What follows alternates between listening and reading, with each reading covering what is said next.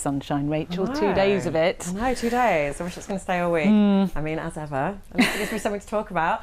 Uh, yes, today, of course, a welcome relief from all these storm conditions. Just look at these clear blue skies. Now, as I was hinting at, I'm afraid it isn't going to be lasting over the next couple of days. It's goodbye to these clear blue skies, and eventually it's turning really wet and windy for tomorrow. Some gale force gusts. It's actually a cold front, so behind it, I'm afraid more showers, and by Thursday and Friday, it's feeling colder as well. Need to wrap up warm by the end of the week. So this is what's heading our way through the day for tomorrow. It's heavy rain, but it's really windy, so it passes through quickly. Further scattered showers around for Thursday and for Friday, and then these northerly winds join us for the weekend. But lots of sunshine by Saturday, so a bright but chilly day uh, for Saturday. Through the rest of this evening, though, we're staying dry. Clearer skies mean those temperatures falling away initially to around four or five degrees, rising slightly tomorrow morning, and that's because of this cloud cover. One or two quite sharp showers. The real story uh, is the strength of the wind. So an average wind speed of around 20 miles per hour, but gusting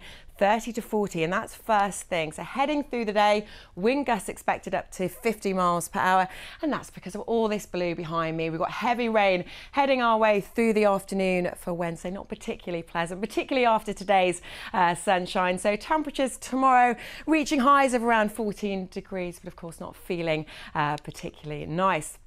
Now, as we go from Wednesday over into Thursday, clearer skies, another quite calm picture, but towards the early hours of Thursday morning, one or two scattered showers around. Not particularly chilly night, nightfall, five degrees. We should be staying frost free. But as we head through the day for Thursday, further outbreaks of rain in the morning, but by the afternoon, hopefully, fingers crossed, a bit more in the way of sunshine. So temperatures 11 or 12 degrees in many places. The winds have eased off. It's a brighter picture.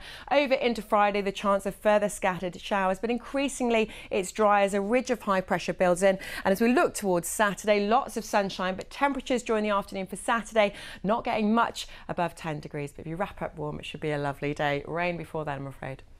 Yeah, there's a lot of rain sorry. in there. no, sorry. That's okay. It's not your yeah. fault. We don't blame you.